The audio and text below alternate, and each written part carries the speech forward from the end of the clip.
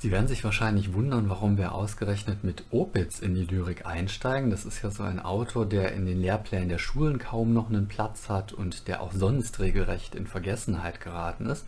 Das war allerdings nicht immer so. Es gibt kaum ein zweites Werk, das so prägend und so folgenreich war für die deutsche Literatur wie dieses Buch von der deutschen Poeterei.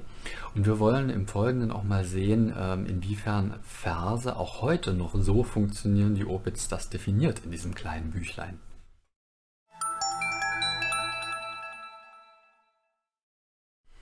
Als das Buch von der deutschen Poeterei 1624 erscheint, macht das in Windeseile Furore. Sein Autor lobt man in den höchsten Tönen, rasch verpasst man Opitz auch solche Ehrentitel wie Vater unserer deutschen Poesie. Ja, mit Opitz, da sei, wie es dann häufig heißt, die deutsche Dichtung überhaupt erst aus dem Grabe wiedererweckt worden. Es sei die Morgenröte der Dichtung angebrochen. Ähm, also die überbieten sich da alle regelrecht in Lobhudelei mit Blick auf Opitz. Kaum wird man im 17. Jahrhundert irgendeinen Autor finden, der sich mit deutscher Dichtung befasst und nicht in der einen oder anderen Weise, meist eben bewundernd auf Opitz Bezug nimmt. Und das ist ja verwunderlich, denn dieses Buch von der deutschen Poeterei, das ist nicht nur nach unseren heutigen Maßstäben ein außerordentlich schmales Bändchen. Ja, Sie haben zwar nur einen Auszug jetzt sich angesehen, aber wenn Sie dieses Reklamheft sich angucken würden, dann äh, würden Sie feststellen, dass das auch kein dickes Ding ist. Also ein ganz dünnes Heft und da sind auch sehr viele Kommentare drin, da bleibt kaum noch was übrig, was der Opitz schreibt. Also weniger Buch von der deutschen Poeterei als vielmehr Büchlein von der deutschen Poeterei. Noch dazu bleibt es allem Anschein nach auch bruchstückhaft. Ähm, es verbietet sich selbst ausschweifende Ausführlichkeit. Der Opitz selber bemerkt zum Beispiel, wer irgendwas über die Tragödie wissen will, naja, der kann ja auch einfach mal bei Aristoteles nachgucken oder bei Heinsius, niederländischer Autor der Zeit. Ich muss das ja jetzt hier gar nicht selber beschreiben. Ne?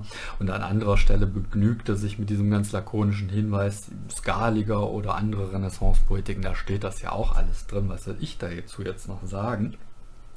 Wenn Opitz aber wirklich nicht mehr zu bieten hätte als so einen knappen Auszug von Dingen, die andere auch vor ihm bereits beschrieben haben, dann bliebe ja diese literaturgeschichtliche Sonderstellung des Buches von der deutschen Poeterei ein Mysterium. Da muss also noch irgendwas anderes dahinter stecken. Vielleicht finden wir eine Antwort, wenn wir uns einmal anschauen, worin Opitz selbst seine Aufgabe und seine Leistung, also letztlich sein Projekt, sieht. In welchem Zustand befindet sich laut Opitz die deutsche Dichtung, als er dieses Buch veröffentlicht? Und da kriegen Sie ja einige Aussagen am Ende des dritten und am Beginn des vierten Kapitels, so ein kleiner literaturgeschichtlicher Abriss ja, über die deutsche Poeterei, lautet ja die Überschrift zum, was ist es, zum vierten Kapitel. Und das ist ja der Nukleus einer Literaturgeschichte. Viel mehr ist es nicht. Ganz kurze Bemerkungen und da fallen ja ein paar Namen, die auch heute noch bekannt sind. Walter von der Vogelweide. Der wird sogar zitiert mit einem ausführlicheren Text als Beispiel für vorbildhafte deutsche Dichtung. Das Spannende ist ja, was danach passiert. Ja? Seite 25, direkt nach dem Walter-Zitat. Dass nun vor langer Zeit Herr dergleichen zu üben in Vergessen gestellet ist worden, ist leichtlicher zu beklagen, als die Ursache hiervon zu geben. Der behauptet hier also nach Walter von der Vogelweide, da sei deutsche Dichtung in Vergessenheit geraten, da gibt es da nichts mehr. Und das ist ja jetzt wirklich eine steile These. Ja, Sie wissen vielleicht aus Ihren Medievistikkursen, Walter, der gehört ins 12. Jahrhundert. Hm, jetzt äh, sind wir hier mit Opitz im 17. Jahrhundert, da liegen also 500 Jahre dazwischen und in diesen 500 Jahren, da haben sich nicht alle auf die faule Haut gelegt und nichts mehr geschrieben. Das ist ja großer Quatsch. Ja. Wenn Sie ins 16. Jahrhundert allein mal gucken, so Namen wie Hans Sachs, Luther natürlich selber auch klar, aber vor allem Hans Sachs, ähm, das ist ja einer, der ähm, ja, für den Meistersang steht, aber auch Fastnachtsspiele schreibt, also Unmengen an Texten publiziert. Das füllt ganze Bibliotheken. Das sind wirklich Regalmeter, die man da zustellen könnte mit Texten von Hans Sachs. Der taucht hier einfach gar nicht auf bei Opitz. Also der schiebt den einfach unter den, oder kehrt ihn einfach unter den Teppich, will nichts wissen von dem. Das ist also letztlich eine literaturpolitische Aussage, die Opitz trifft. Sie ähm, machen einfach Tabula rasa und können dann natürlich hervorkommen als derjenige, mit dem jetzt etwas Neues losgeht.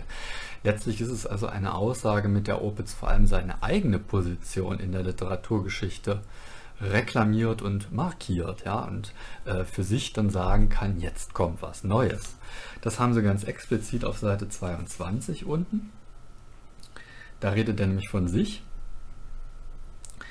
Ich bin der tröstlichen Hoffnung, es werde nicht alleine die lateinische Poesie, welcher seit der vertriebenen langwierigen Barbarei, das ist das Mittelalter, ja, seit der vertriebenen langwierigen Barbarei viel große Männer aufgeholfen, ungeachtet dieser trübseligen Zeiten und höchster Verachtung gelehrter Leute bei ihrem Wert erhalten werden.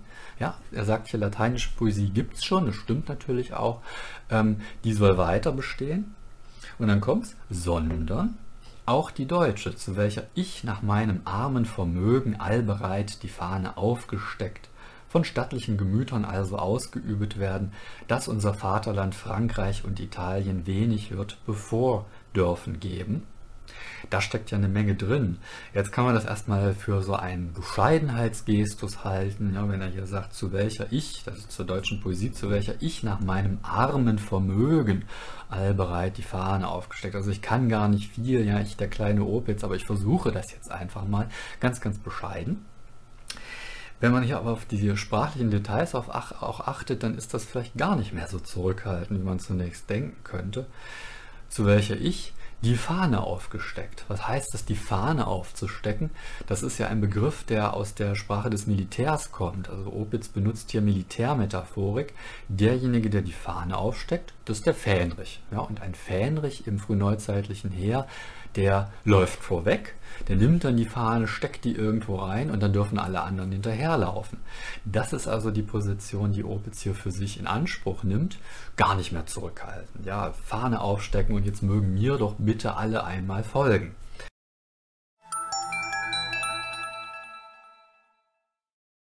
Im 17. Jahrhundert Deutsch zu dichten ist alles andere als selbstverständlich und ähm, Sie können ja auch erkennen, dass das mit, vor allem mit einem kulturpatriotischen Anliegen verknüpft ist. Ja, an derselben Stelle redet er auch davon ähm, oder setzt er sich selber ein Ziel dieses Fahnenlaufes, nämlich dass unser Vaterland Frankreich und Italien wenig wird bevor dürfen geben.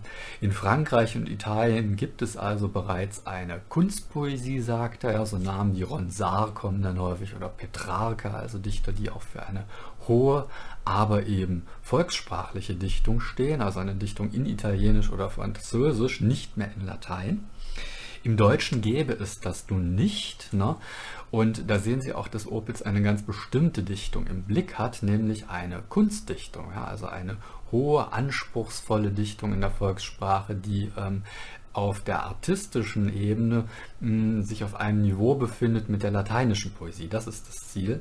Und das ist auch der Grund, weshalb Hans Sachs hier um, unter den Teppich gekehrt werden muss, denn Hans Sachs ist keiner, der für Kunstpoesie steht, sondern der steht für Knittelverse. Ja, wir sehen nachher noch, was Knittelverse sind für eine volkstümliche Poesie, die eher im Handwerkermilieu zu verorten ist. Also Hans Sachs, der hockt da in Nürnberg und der taucht dann immer äh, bei den gelehrten Dichtern des 17. Jahrhunderts eher als so ein Schuster auf, der eigentlich da an seinen Schuhen herumwerkelt und nebenbei so ein paar Verse dichtet. Naja, kann man nicht ernst nehmen. Ne? Der Pritschmeister, so geht das dann häufig und davon grenzt man sich nun ab.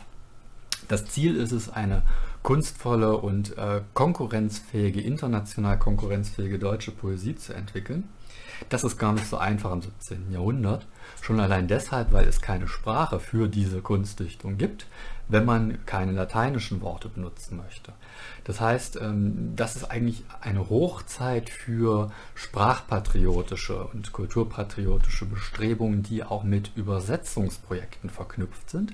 Viele Schriftsteller im 17. Jahrhundert, die machen sich daran, erst einmal lateinische Worte ins Deutsche zu übersetzen. Mit kruden Ergebnissen zum Teil. Also das äh, hat sich natürlich nicht durchgesetzt, denn wenn man sich mal klar macht, was alles aus dem Lateinischen kommt, das sind Unmengen. Sie können kaum irgendwie einen Satz sagen, ohne dass Sie ein etymologisch auf das Lateinische zurückzuführendes Wort verwenden oder ein griechisches. Ja, solche Sachen wie Fenster, Fenestra hat man dann versucht mit Tageleuchter ins Deutsche zu übersetzen, also nicht Opitz selber, aber andere. Oder aus dem Kloster, ja, Klaustrum, da kommt auch die Klausur her, das abgeschlossene. Jungfernzwinger als deutsche Entsprechung dann oder auch sehr schön die Pistole, die durfte man ebenfalls nicht verwenden, auch kein deutsches Wort. Daraus wurde dann der Meuchelpuffer. Benutzt man heute nicht mehr solche Worte, also das ist eher witzig. Damit hat man sich äh, die Zeit vertrieben, um eben die Grundlagen, die sprachlichen Grundlagen zu schaffen für eine deutsche Kunstdichtung.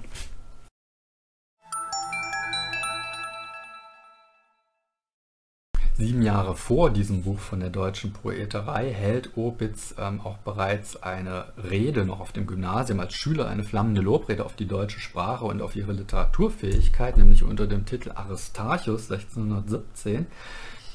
Der tut es allerdings, wie Sie hier auch in diesem Beispiel sehen, noch auf Latein und das ist ja ein bisschen misslich, ja, sehr ungünstig, wenn man das Deutsche loben will und es dann auf Latein tut. Ähm, schließlich aber dann 1624 mit dem Buch von der deutschen Poeterei auch im Sprachwechsel auf Deutsch. Da vollzieht er also selber schon performativ diesen Wechsel in die deutsche Muttersprache. Auf Deutsch zu schreiben, das ist im 17. Jahrhundert allerdings auch gar kein selbstverständliches und auch kein unverfängliches Projekt, sondern das birgt, wenn man so sagen darf, durchaus Sprengstoff. Deutsch als Literatursprache zu etablieren, das ist vor allem ein ganz klar protestantisches Anliegen. Sie wissen, äh, das Christentum, das ist seit der Reformation, also seit dem frühen 16. Jahrhundert, in eine Vielzahl von Konfessionen gespalten. Wir haben Calvinisten, Lutheraner, wir haben Katholiken, Reformierte etc. Und äh, Deutsch ist mit Blick auf die Sprache hm, äh, eine Sprache der Protestanten. Also die Katholiken, die schreiben nicht Deutsch das katholische Deutschland schreibt weiterhin lange Zeit, zum Teil sogar bis ins 19. Jahrhundert hinein, überwiegend auf Latein, gibt ganz, ganz wenige Ausnahmen. Ja. Und auch äh, Poetiken werden ähm, vor allem auf Neulatein geschrieben. Wenn Opitz hier nun äh, für sich in Anspruch nimmt, der deutschen Dichtung die Fahne aufzustecken, sich also als Fähnrich inszeniert, dann zeugt es erst in zweiter Linie von einer äh, patriotischen Programmatik, eben Deutsch als Dichtungssprache zu etablieren gegen die Dichtung der Romanier.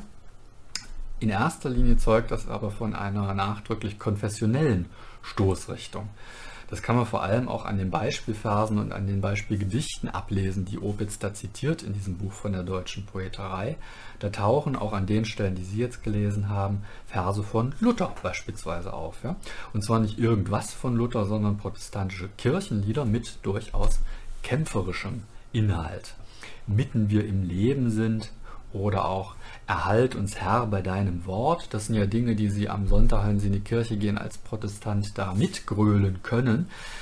Das ist nicht so harmlos, wie das hier aussieht. Erhalt uns Herr bei deinem Wort. Naja, das geht nämlich weiter mit und Steuer des Papstes und Türkenmord. Ja, erhalt uns Herr bei deinem Wort und Steuer des Papstes und Türkenmord der Papst als der Antichrist der Protestanten, als der große Gegner, das Oberhaupt der katholischen Kirche, von dem grenzt man sich natürlich ab. Und diesem Treiben, diesem ähm, ja, diabolischen Treiben des Papstes soll doch dann bitte der Gott der Protestanten auch Einhalt gebieten. Und mit Türkenmord ist hier die sogenannte Türkengefahr gemeint, also das Osmanische Reich ähm, stand ja ähm, im 16. Jahrhundert schon vor Wien. Es drohte unmittelbar das Heilige Römische Reich, deutsche Nation in seinem Zentrum sozusagen zu bedrohen. Und das wurde als einen Angriff auf die Christenheit interpretiert und führte dann auch dazu, dass man sich zusammengetan hat, um äh, diese sogenannte Türkengefahr eben abzuwehren. Davon ist hier die Rede. Also die Beispielverse, die Opitz zitiert, die sagen durchaus was aus. Die sind nämlich kämpferischen Inhalts und eindeutig protestantisch kodiert.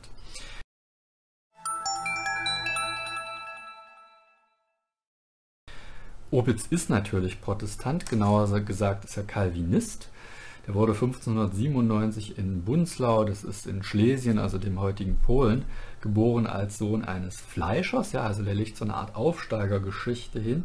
Schlesien, das war im 17. Jahrhundert eines der großen kulturellen Zentren. Da kommen auch Autoren her wie Gryphius, Lohenstein, Hoffmanns-Waldau, also die wenigen Schriftsteller, die man eher noch kennt aus der frühen Neuzeit. Und Opitz Lebenslauf, der kann in mancherlei Hinsicht auch als repräsentativ gelten für zeitgenössische Dichter. Der legt so eine ganz steile Karriere hin. Der arbeitet erst als Gymnasialprofessor, dann als herzoglicher Rat, in späten Jahren auch als Hofgeschichtsschreiber und als Sekretär des polnischen Königs. Man sieht hier also an dieser Vielfalt der Ämter, die Opitz ausübt, dass Dichten in der frühen Neuzeit kein Vollzeitjob ist. Ja, es gibt nur ganz, ganz wenige Beispiele für Berufsschriftsteller, Berufsdichter. Denen geht es dann auch eher schlecht als recht. Die kommen kaum über die Runden. Der Großteil der Dichter ähm, äh, ist eben aus dem Gelehrtenstand. Ja, das sind gelehrte Dichter, also der lateinische Begriff Poeta Doctus, Poeta Doctus, gelehrter Dichter. Das ist so ein Begriff, den Sie da immer wieder finden und der eben charakterisiert, was Schriftsteller in der frühen Neuzeit eigentlich waren nämlich hauptberuflich Beamte. Ne? Die arbeiteten ganz oft in städtischen Verwaltungen, in Kanzleien oder an Höfen. Das Dichten dagegen, das ist zunächst mal ein Freizeitvergnügen oder wie sie das dann im 17. Jahrhundert ausdrücken, etwas, das man in den Nebenstunden tut, so wie sie in ihren Nebenstunden heute am Abend vor dem Rechner sitzen und bei Steam irgendwelche Spiele zocken, da haben die sich eben hingesetzt und deutsche Worte erfunden oder Gedichte geschrieben. Also etwas, mit dem man sich dann mehr oder weniger mühevoll die Nächte um die Ohren schlagen kann. So ging das damals. Was ist nun eigentlich Opitz Pionierleistung mit Blick auf die deutsche Literatur und vor allem mit Blick auf Verse? Das ist ja unser heutiges Thema. Das wollen wir uns jetzt mal angucken und da ist gerade diese letzte Seite, die Sie in Ihrer PDF finden, sehr aussagekräftig. Das ist nämlich der sogenannte Versreformpassus und ausgehend von diesem Versreformpassus, der bis heute ähm, reguliert, wie Dichtung oder wie Versdichtung funktioniert, werden wir uns im nächsten Schritt einmal angucken, wie Verse eigentlich funktionieren, wie Verse gebaut werden im Deutschen.